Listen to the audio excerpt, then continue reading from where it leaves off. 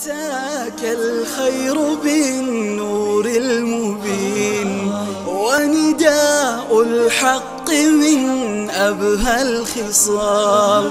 من أصول الفقه في دنيا ودين. قم إلى الرحمن طوعا وامتثال بسم الله الرحمن الرحيم. الحمد لله والصلاة والسلام على أشرف الأنبياء والمرسلين نبينا محمد عليه أفضل الصلاة وأتم التسليم.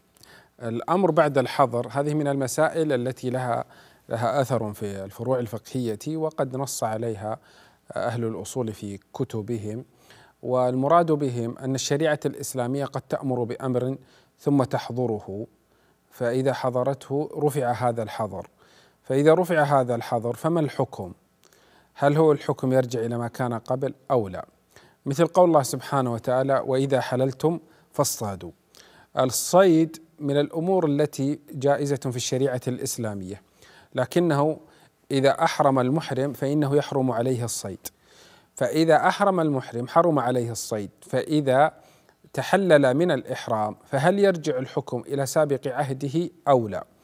هنا اختلف العلماء في ذلك على أقوال، منهم من قال أنه يرجع إلى الوجوب ومنهم من قال أنه يرجع إلى الإباحة. والصحيح من أقوال أهل العلم أنه يرجع إلى ما كان قبل الحظر.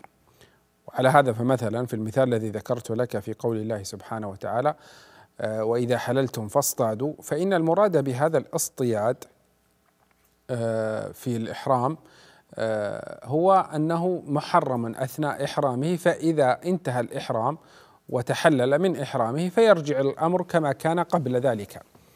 ومثل قول النبي عليه الصلاة والسلام في قوله إني نهيتكم عن زيارة القبور ألا فزوروها. فهنا أمر النبي أن النبي صلى الله عليه وسلم قد كانت زيارة القبور مباحة ثم حرم الله سبحانه وتعالى عليهم زيارة القبور ثم قال فزوروها. حينما قال النبي صلى الله عليه وسلم فزوروها هل الأمر هنا للأم هذا هذا اللفظ فزوروها أمر والأمر يقتضي الوجوب في زيارة المقابر. أم أن الأمر يرجع إلى سابق عهده كما كان كما كان قبل النهي. صحيح من أقوال العلم أنه يرجع إلى ما كان قبل النهي وأن لا نأخذ بهذه الصيغة في الوجوب فزوروها وأنه يستدل بها على الوجوب. إذ أن هذا الأمر تحت قاعدة الأصولية في قوله الامر الأمر بعد بعد الحظر فإن هذا الأمر بعد الحظر ويرجع إلى ما كان سابقا عليه. طبعا هذا يرجع في الأشياء المحرمة الأشياء المباحة الأشياء الواجبة والأشياء المكروهة وغيرها. فإن الأمر إذا حرم ثم رفع هذا التحريم فإنه يرجع إلى ما كان قبل إلى ما كان قبل إلى ما كان قبل ذلك. وعلى هذا أمثلة كثيرة في مثلا في ادخار لحوم الأضاحي فإن النبي صلى الله عليه وسلم قد حرم تحريم الأضاحي. ثم قال النبي صلى الله عليه وسلم إنما جعل ذلك من أجل الدافة فرفع هذا الحظر في ادخار لحوم الأضاحي فيرجع هذا الأمر إلى الإباحة فمن أراد أن يدخر فليدخر ومن أراد أن لا يدخر فليدخر. والسبب في ذلك النبي صلى الله عليه وسلم نهى عن ادخار لحوم الأضاحي لوجود المجاعة. فلما ذهب هذا الحكم وهذه العلة اللي من أجلها حرم ادخار لحوم الأضاحي رجع الأمر إلى سابق إلى سابق عهده. كذلك في أشياء ممكن يعني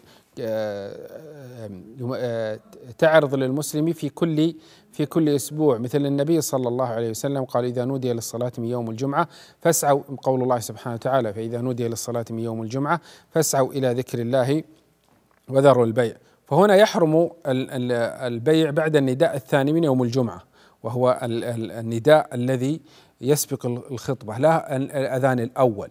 فإن الأذان الأول لا يحرم وإنما كان من فعل عثمان رضي الله عنه في عهد خلافته. وإنما المراد به الآذان الذي يسبق الخطبة خطبة الجمعة فإنه هذا النداء هو الذي يحرم بعده البيع.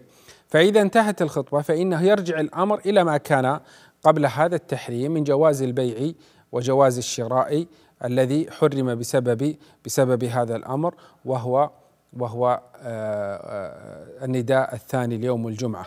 ولهذا فإن التحريم إنما كان لمقصد معين وهو تفريغ القلب والعقل لعبادة الله سبحانه وتعالى في يوم الجمعة.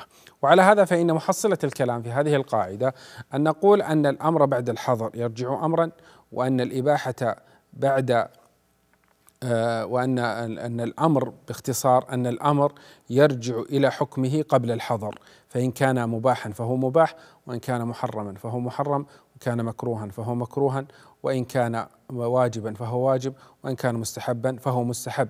فيرجع الأمر إلى ما كان إلى ما كان قبل قبل الحظر. هذا في أصح أقوال أهل العلم وهناك خلاف في هذه في هذه المسألة.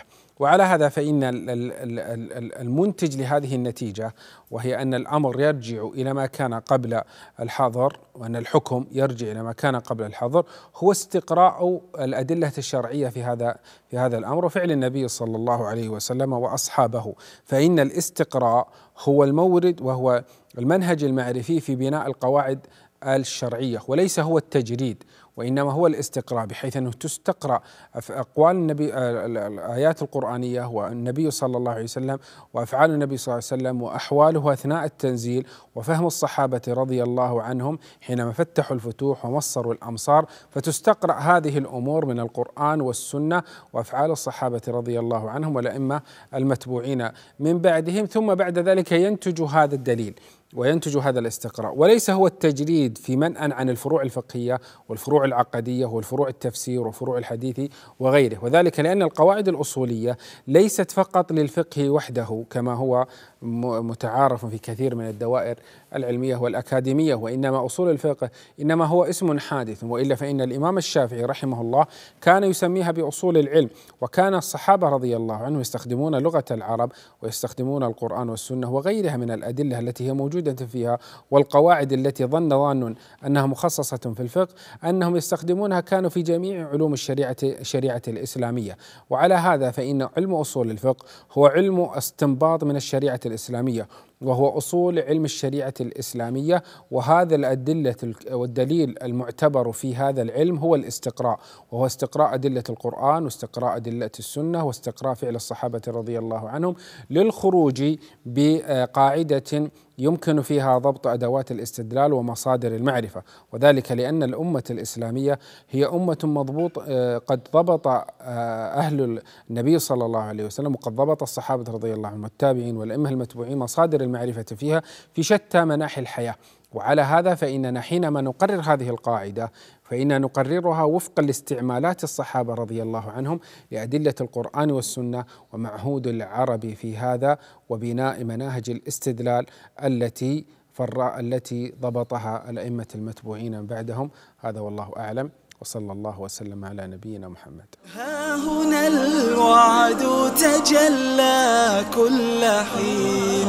يرسم البشرى على رحب الوصال. من أصول الفقه بالعلم اليقين. نرتجي الرضوان في أسمى منام